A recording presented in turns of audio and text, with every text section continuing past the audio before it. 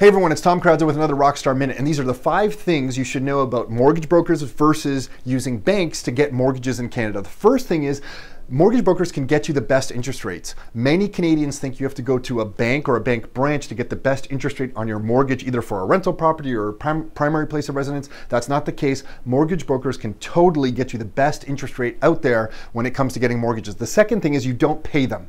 You don't pay mortgage brokers, the banks pay mortgage brokers. So they're technically free to use when it comes to residential mortgages. When it's a commercial mortgage or a big apartment building mortgage, they, they do have fees, but when it comes to residential mortgages, they are free to use. The third thing is they have access to something called monoline lenders, and this is why that's important. Most Canadians think you have to go to a bank branch or a bank to get a mortgage, um, but that's not the only options in Canada. There are monoline lenders, and these are lenders that don't have bank branches, and the only way to access mortgages from these companies are going through a mortgage broker. And because that's the case, mortgage brokers can strategize with you, especially if you're an investor. They'll sit down with you and say, hey, here's what the monoline lenders are offering, here's what the banks are offering.